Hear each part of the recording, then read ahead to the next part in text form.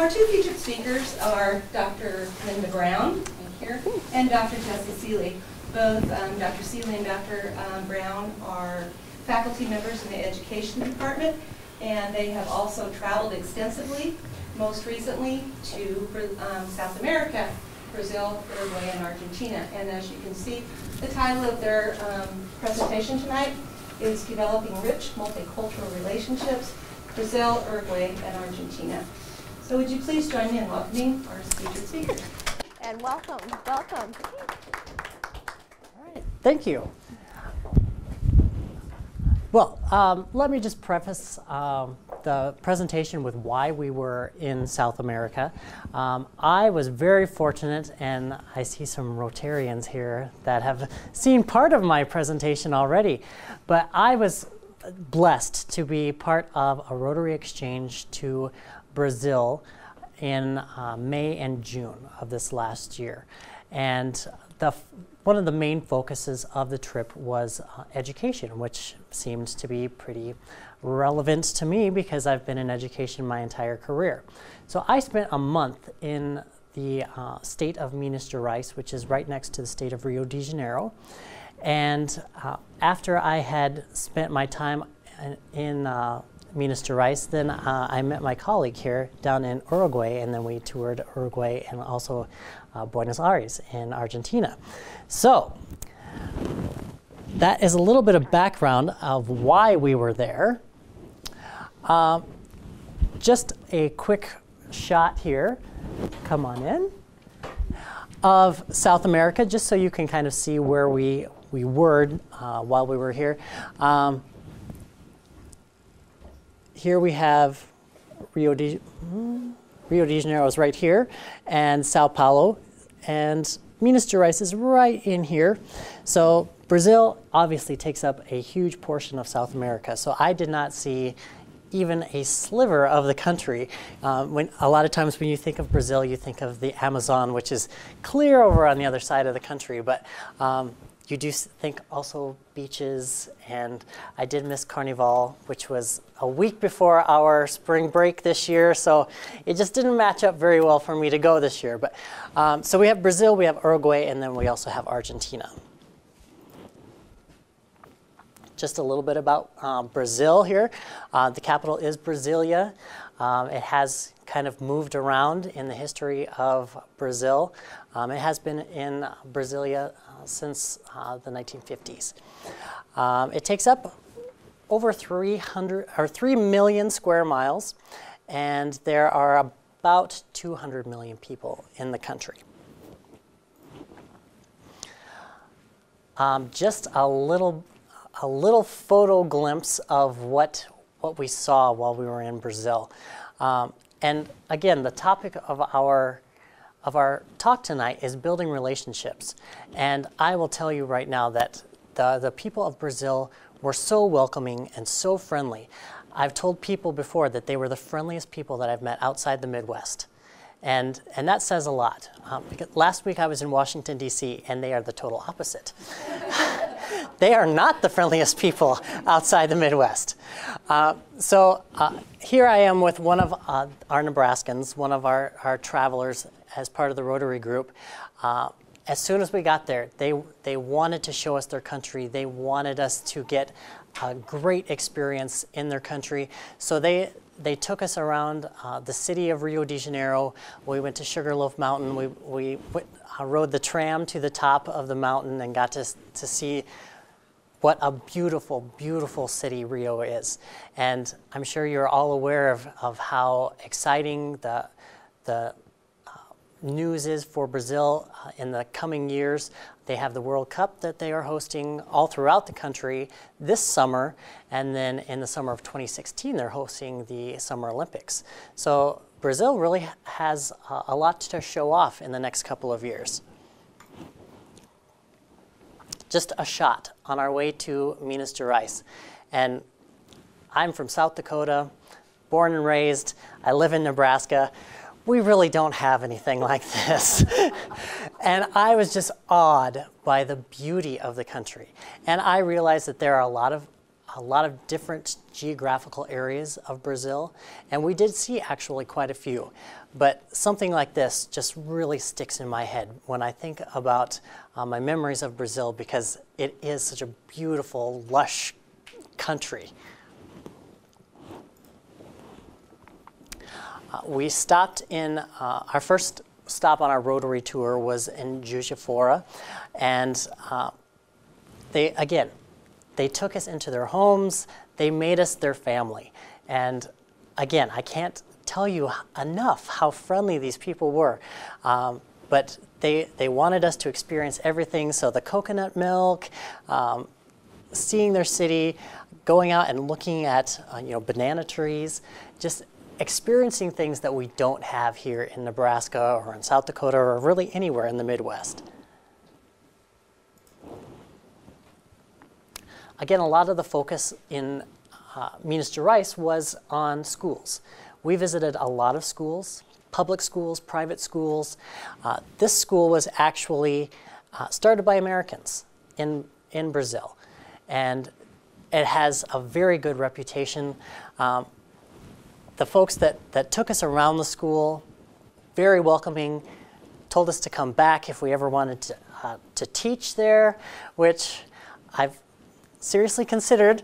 Um, maybe, maybe towards retirement, I may go back. But um, the students loved us.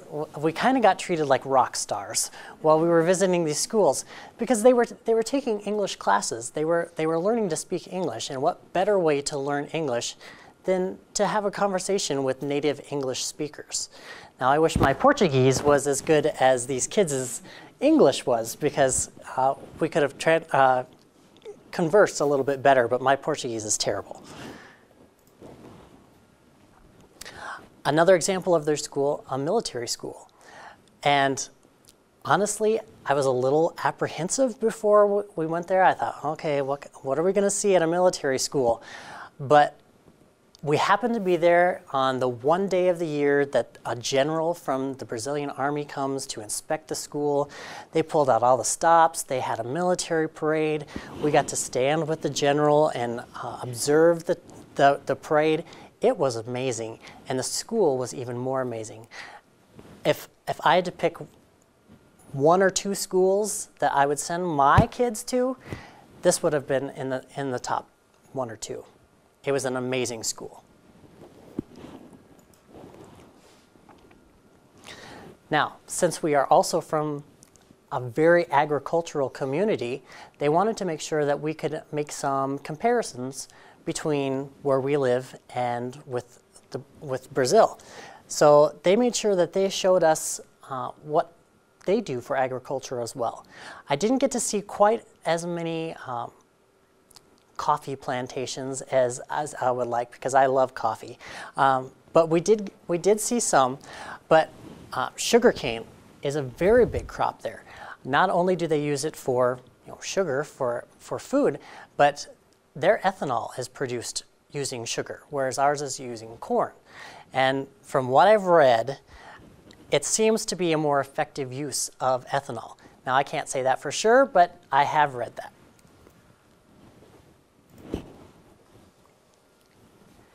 Um, we got to attend a regional conference for the, uh, the Rotary Club, and again, we, we got all dolled up and we got to hobnob with, with the bigwigs in, in the Rotary Club. But um, I also included this picture because we got to make some connections with uh, a big focus of, of Rotary is sending students abroad. So all of these students were either going abroad or were there from other countries. So there were several Americans here that that we got to you know kind of chat with, and then uh, one of these young ladies was on her way to uh, Michigan. She was going to be a foreign exchange student there. Uh, so and we're Facebook friends with tons. Uh, my Facebook just blew up while I was there, um, but I'm following her on Facebook. Sounds like she's having an amazing time here. The city of Uba, uh, a smaller city, but uh, home of some very, very dear friends now. Um, again, they took us into their homes, treated us like family. Uh, they, the government officials uh, met with us. They were very willing to talk about. That was their education minister up there, that the lady in the first picture. Uh, very willing to talk about um, what is going on in their country, what problems they might have, what they're doing well. Um, this was the mayor of their country. And after we left Brazil, or as I was leaving, uh, you may remember back this summer that there were there was a little bit of unrest in Brazil. Um, a, there were a lot of people that that wanted more for their country than than they thought their government was providing them, and so there there were some protests and and for the most part they were peaceful. Uh, a few of them got out of hand, and, and there were some people that were hurt, which was unfortunate.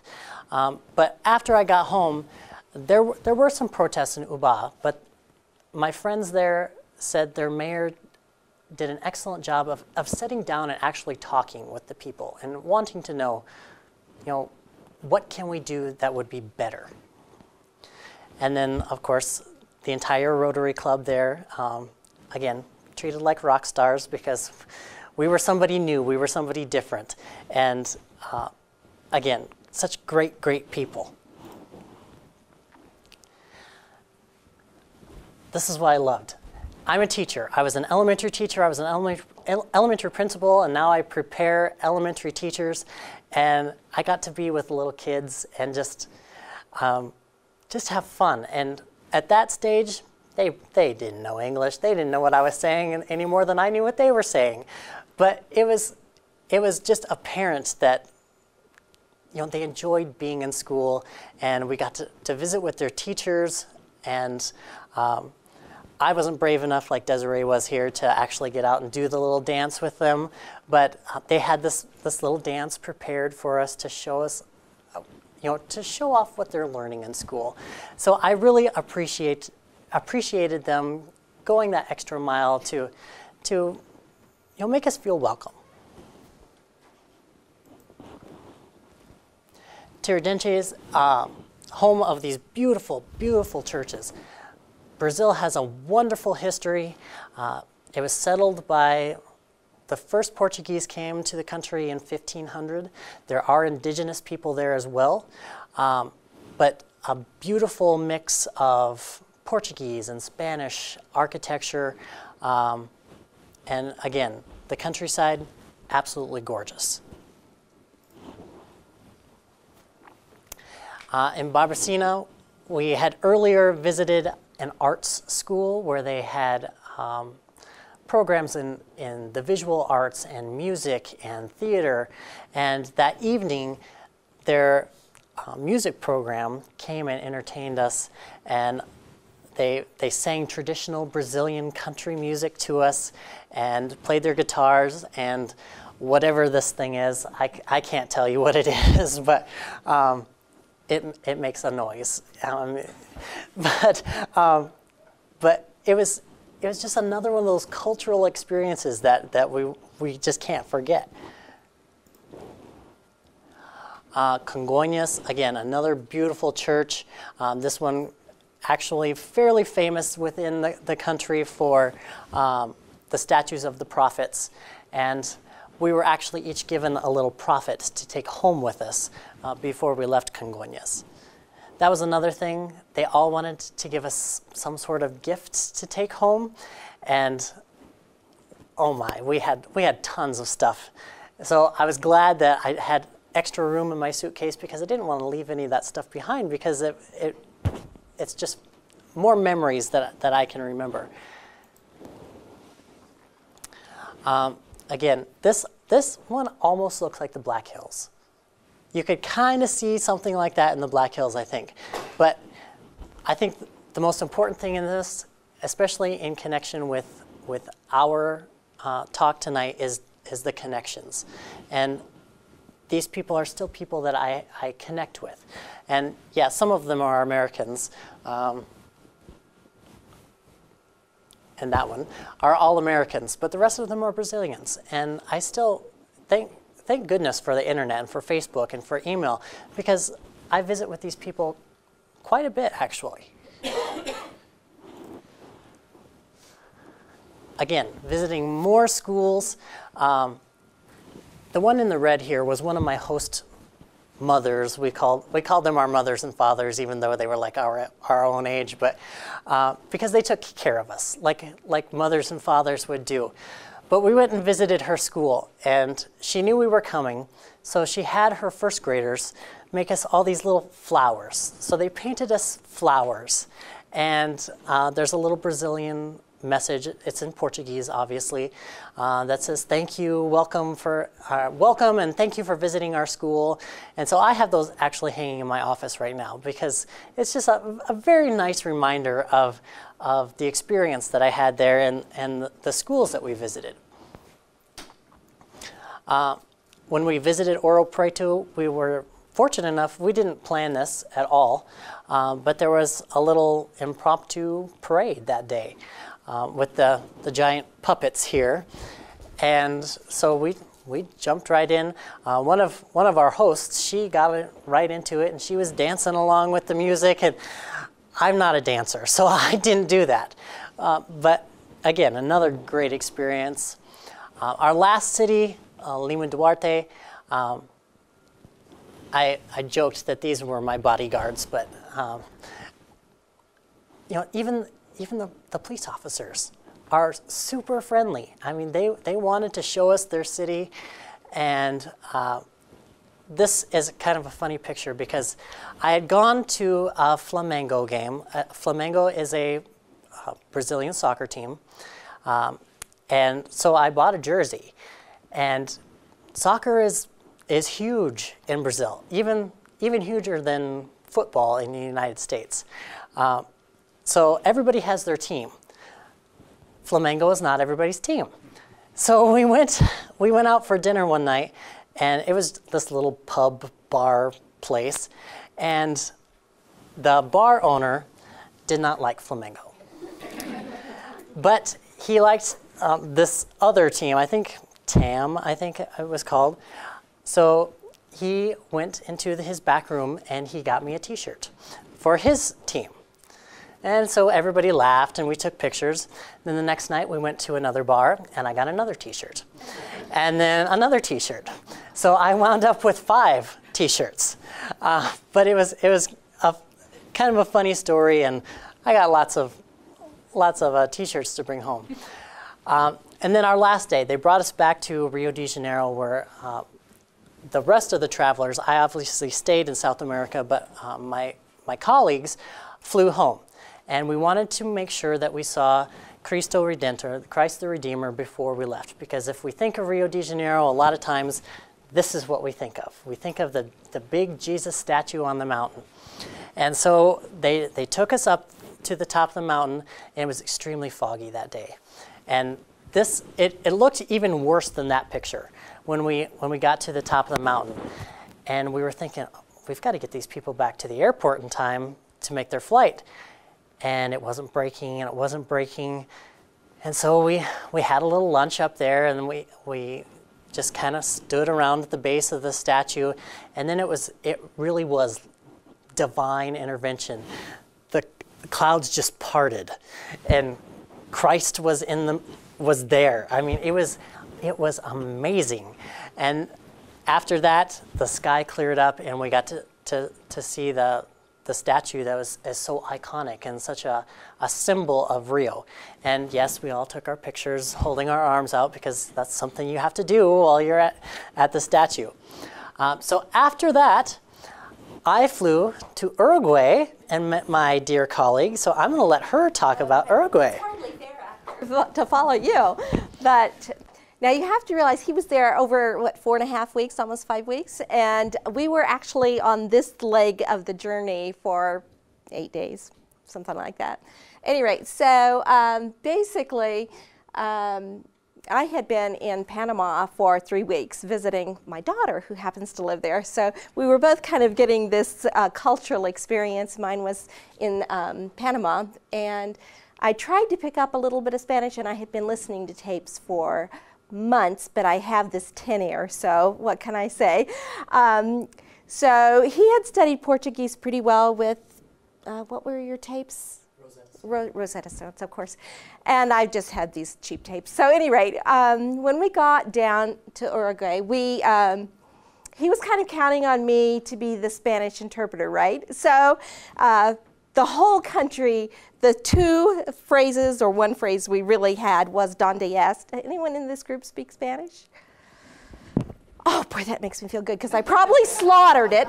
But any rate, that just means where is, and, and that's that's basically it. So and then all the rest of it was charades. So, well, yes, we know. You know, some of the words you probably have picked up. Um, a few of them here and there, but Donde asked if we hadn't known that, we probably would have never gotten out of the airport or whatever. So um, we both flew into Montevideo, which is the capital city. And um, this country is an interesting little country. It's the size of Oklahoma, okay? And it's nestled between these two giants, Brazil and Argentina. And it has never really had its own economy because um, these two superpowers, in fact, it was actually part of Brazil, was it not, for a while? And um, so it relies very heavily on those two economies. But the interesting thing was they don't um, respect each, uh, each other's currency. So when we took our currency here into Buenos Aires, we had to convert everything. And so it was just interesting that they're so reliant on each other. But basically, it has um, a large coastline, and the country has about 3 million people, 3.3 million, and 1.3 million live in the capital city and most of the other people live right around the coast.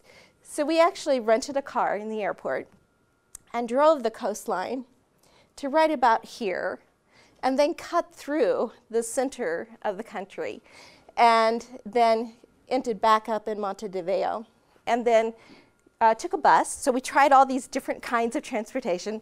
Rented a car, first of all. If you rent a car in a foreign country, make sure you get the insurance on it, okay?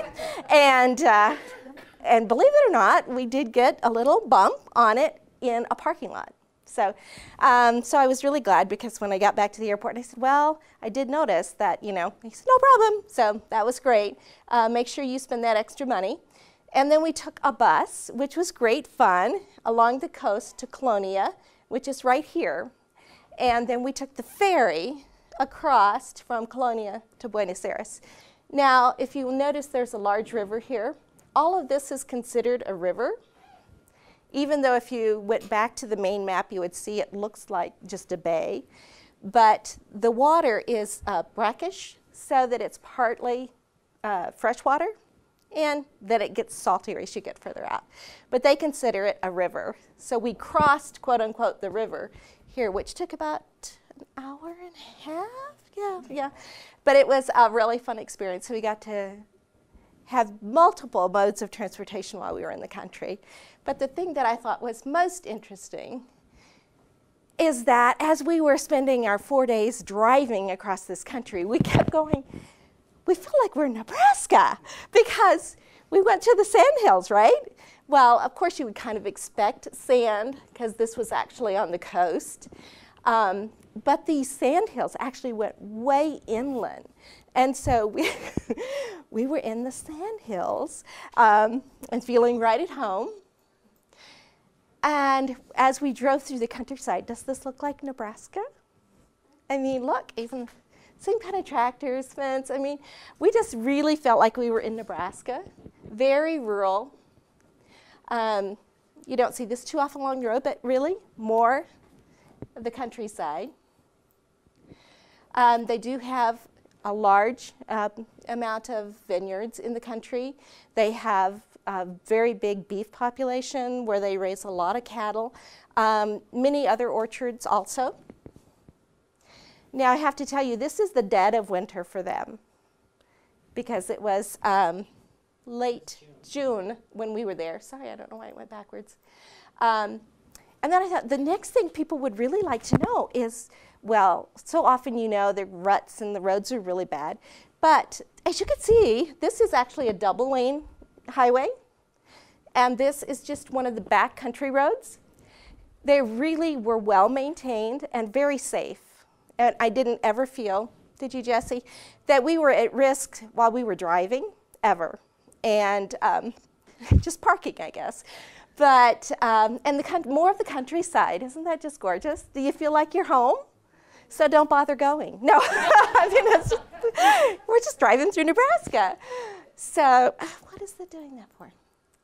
Um, this is actually the capital, Montevideo, it, a beautiful city that I've been in lots of big cities, but this city, 1.3 million, the airport is way, way up on the edge of the city.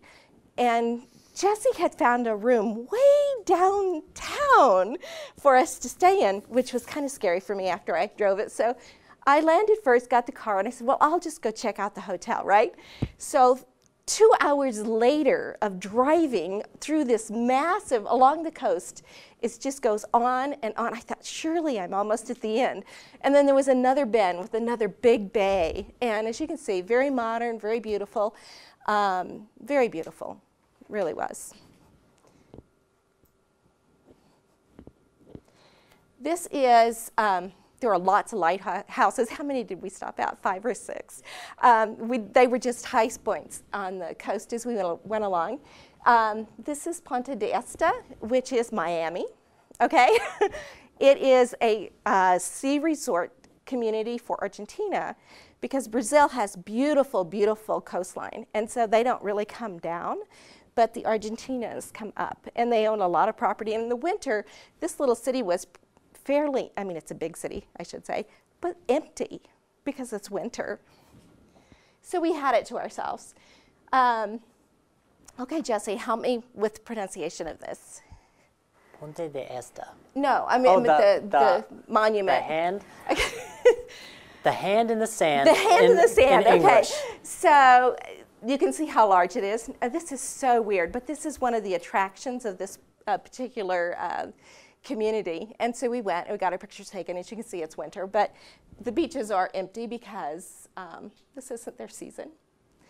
Okay, we went to Casapueblo. This is a beautiful, beautiful resort. Shall I show them some of the other pictures of this? um, anyway, maybe if you want to see them.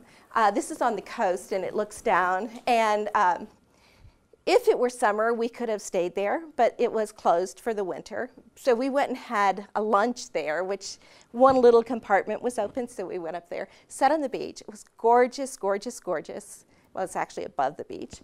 And um, each one of these rooms, this is actually the front, but the back goes down a cliff. And each one of the rooms has their own little pool as you go down. Just amazing. Was Sorry. a friend of Pablo Picasso. So you can kind of see Picasso's influence in it as well. Lots of beautiful art. Well, on our back road adventure now, while we were on the coast, we could usually find someone somewhere that knew enough English to help us a little. I mean, it was really not like going to Mexico or other places in Central America where you can almost always find someone who speaks English.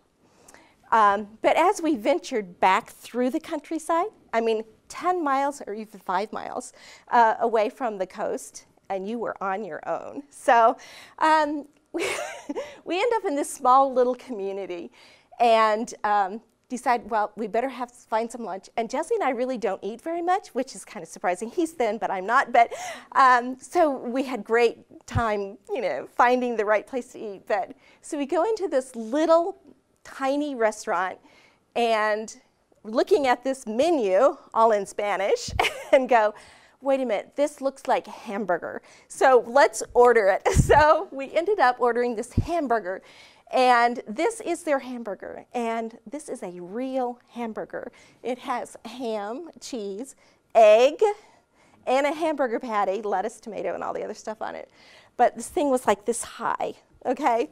So that was our adventure uh, off the coast. And they had great seafood, lots of really, really good food. Okay, so then we traveled to Colonia, which, um, which is where we took the boat, which is where I got the jacket. So this jacket is from, okay, uh, with the um, leather from their country. So, all right, do you want to start with Buenos Aires. The deal was he would go to Uruguay with me if I would go to Buenos Aires with him. So now we head over to Buenos Aires. Yes, because if we were going to be that close, Buenos Aires was on the bucket list, and I thought if we're this close, we've got to do it. Um, so just uh, a little bit about Argentina, capital is Buenos Aires. Um, 41 million people in the country, and about, again, another million square miles. You've probably seen a little bit of Argentina in the news as well. Their, their currency has um, had a little bit of trouble in the last few months.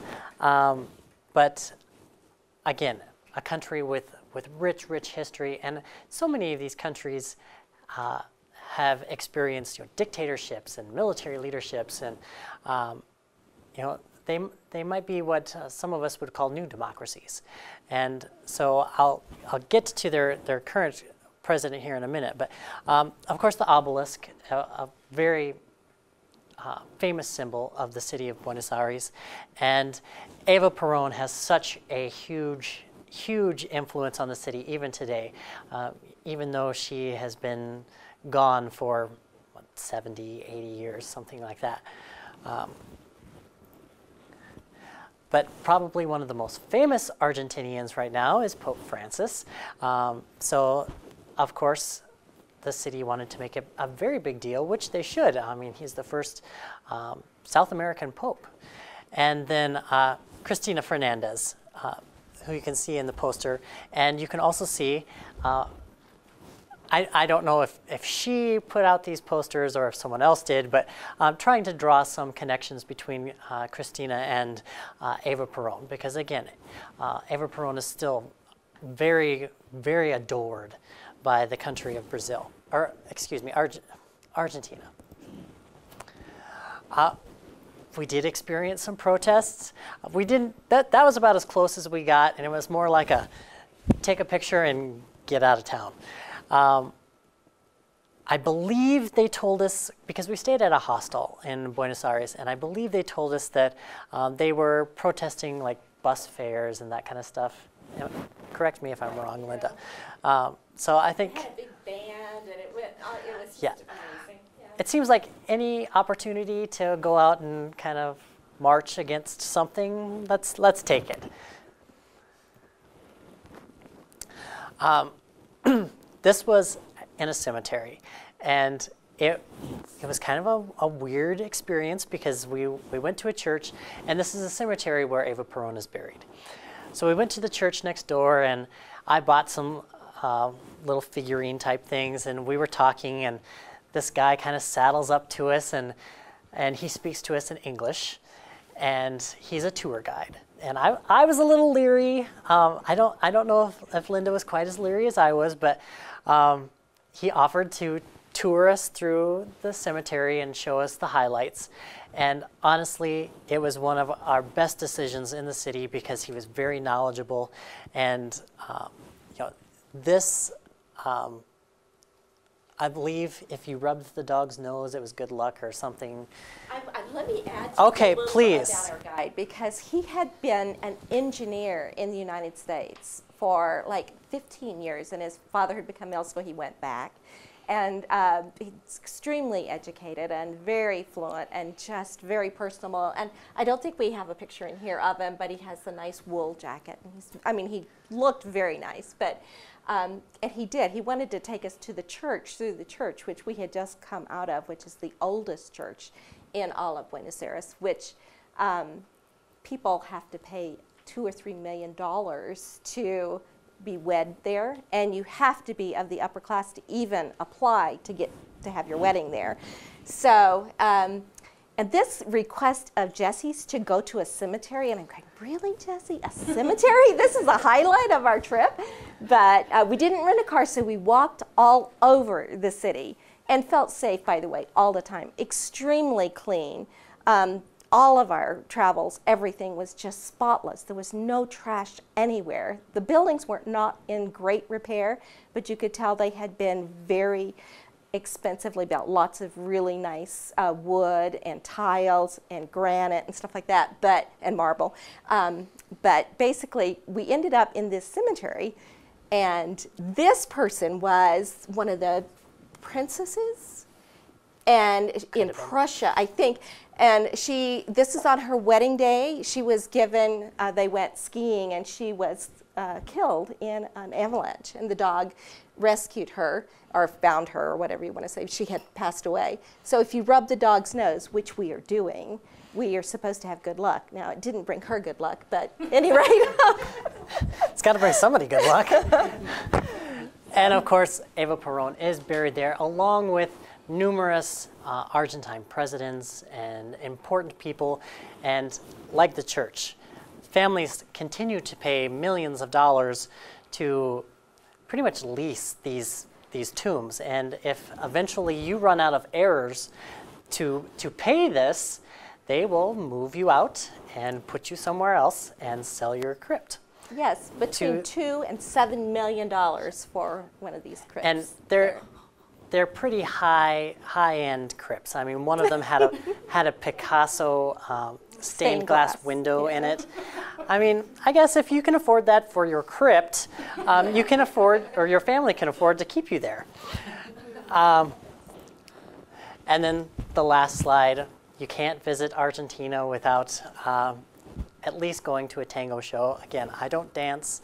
Um, no, neither one of us got up there on stage. no, no, no. no. Argentina has the tango, Brazil has the samba. They did try to teach me the samba, and thank God there were no videos because it was awful. Um, but again, being able to make the connections with, with these people, even though we did not speak the language, um, being because Americans aren't always welcome everywhere we go in, Right. in the world. And we definitely felt totally welcome in all three countries Mm-hmm. while, while I was there. So um, that is pretty much our And we time. did it. So we Yes. will open it up for some questions, Questions. if there are any.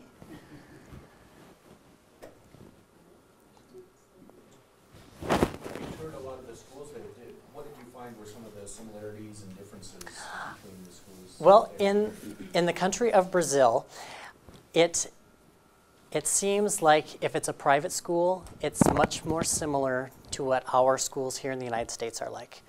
Um, if parents can afford it at all, they'll send their kids to private school. Um, their their public schools are what I would consider a bit lacking um, lacking in resources, lacking in being able to, to afford quality teachers. Um, but when you flip it to look at higher education, it's the exact opposite because it seems like most government assistance is going to the colleges and universities rather than the K 12 schools. So you want to go to a private K 12 school and a public university. So how are class and race constructed then? Is there like a lower class that have attended public school and are mechanics and whatnot? Um, it depends, and there are some schools that that even even like high schools that are kind of like what we would consider a magnet school, where they prepare them for a career.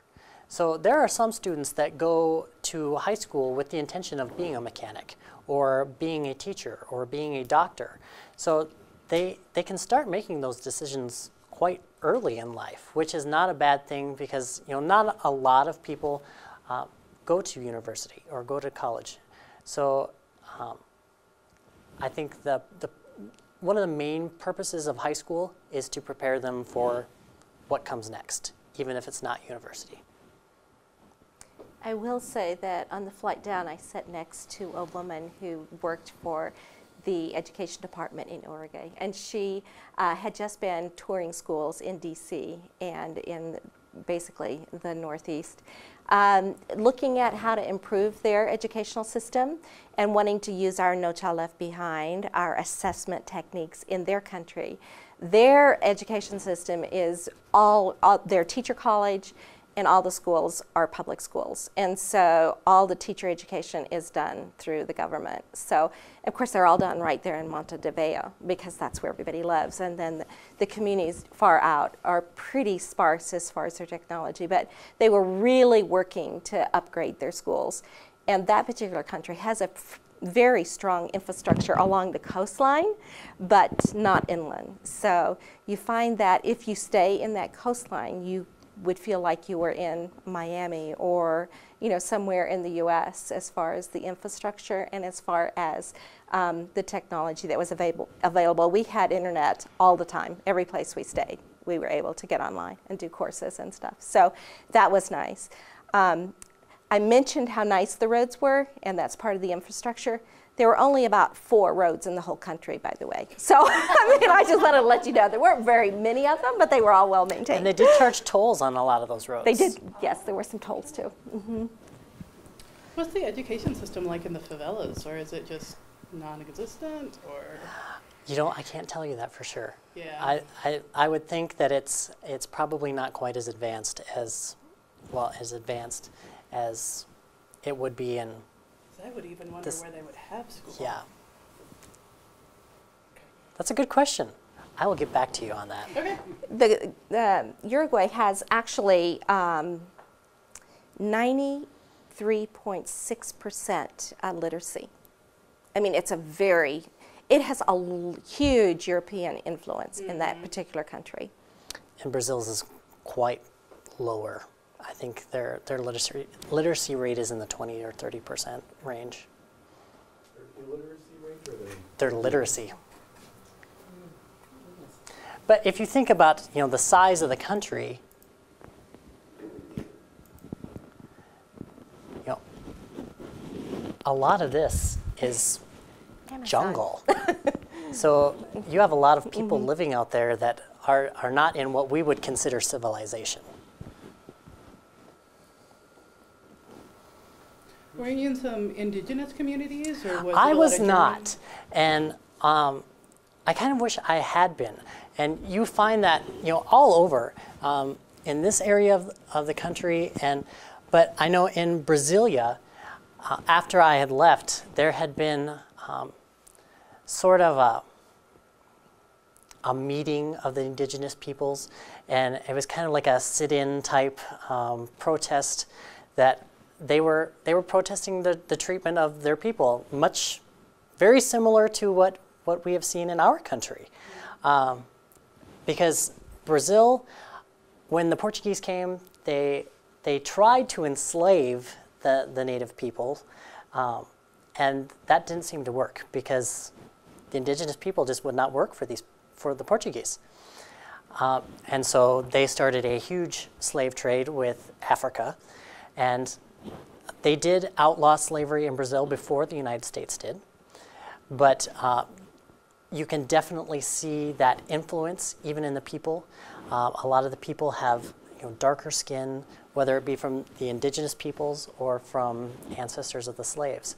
But um, you can definitely see it's it's just a a mix of people, um, a wide palette of colors, and Brazilian people, I will tell you, are absolutely beautiful people. You would find along the coast that most of the people look very European, and then as we went inland, they looked more um, indigenous. Especially in Uruguay. Uruguay didn't have the slave trade as much, and I feel like Uruguay is like 90% European. Yeah, it is a large percentage. So And they are so squeezed. It, I don't want to say they're insignificant because they're not, but when you have those two powerhouses on either side, Right. uh, they kind of get squeezed out a lot. Are the two powerhouses like in constant competition to be the biggest? Well, I think there is some competition. Um, you know, Braz- Especially in soccer. Oh, well, yes. Um, Brazil is now one of the is you know it's considered a developing country. It's a, it's one of the BRICS countries: Brazil, Russia, uh, India, and China, and um, they are definitely what they're a G20 country now. So they are are definitely on on the world stage now. They're not just this backwards little military dictatorship in South America where nobody goes anymore. Um, they are definitely a world player. They are the number one exporter of meat in the in the, entire world, um, mainly because they are the number one chicken exporter. But they do export a lot of beef, which I know tends to concern some Midwestern cattle ranchers like my father. I was going to say, at least we felt at home. They had amazing Yes. beef. I mean, we went to a restaurant where all you can eat, and they had just huge, huge thing of beef. So we felt at home as far as that Yes. availability. But and Brazil is also um, doing oil exp- exploration off their coastlines now, because there there are huge offshore oil deposits. So uh, that's something that's been virtually untapped up until this point. So they've already got their their uh, ethanol industry, but they, they have all this oil and natural gas now too. That if they're not using it themselves, they can sell it to countries like the United States that use a great deal of oil. But these two big countries, Brazil and the other one, what did Uruguay do then for, what did they use for income, I guess you might say, or what kind of products do they have? They have cattle, and they have wine, and they have basically agricultural products. Um, it really doesn't freeze down there. It looks like it would, you know, but they don't really get snow. Um, they uh, also have the tourist industry because of the Argentinas that come up and bring money in. There's also um, uh, talking to this woman from the State Department, um, a real interest um, from China in helping redevelop their rail system and thing with things within the country. So it's um, it's interesting that if China's interested in that little country, you know why? But um, it they're just a really warm, uh, very clean culture. It's just amazing to me, having been in Mexico many, many times and feeling unsafe. And we walked and walked and just would go anywhere and feel safe. So, And it's what we would call chilly. Not cold, but chilly. well, you saw I had on a windbreaker and Jesse had on. We did actually when we got to Argentina. I pulled out some sweaters. Weren't they kind of like sweaters? Yeah, they were sweaters that I had gotten in Panama. And I said, okay, let's put these on under our windbreakers. But in, in And the I didn't- evening, but. I did make the comment to a, a clerk at a store. I said, I didn't expect it to be so cold in Buenos Aires. And she said, Well, it's winter. like you stupid American. So what was cold then? What was the temperature? Oh, it was probably in the upper 40s, maybe lower 50s.